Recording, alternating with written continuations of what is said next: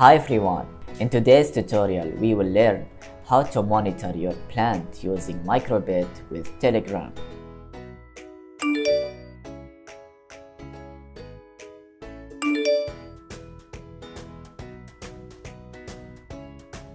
For this tutorial, you will need Reka-Bit, Grove Wi-Fi 8266 and Maker Soil Moisture Sensor.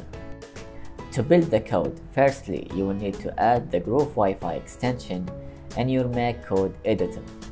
Then add the following blocks in your code. You can get API key and chat ID from Telegram. Check the tutorial in the description to learn more. That's all for today. Don't forget to subscribe and hit the like button. Stay tuned and see you next time.